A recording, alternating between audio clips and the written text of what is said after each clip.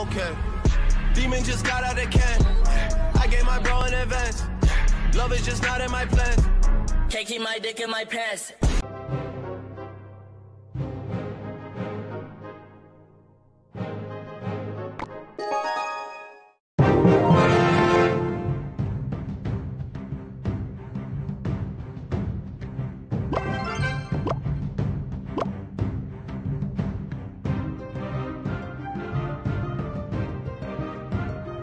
Bowling!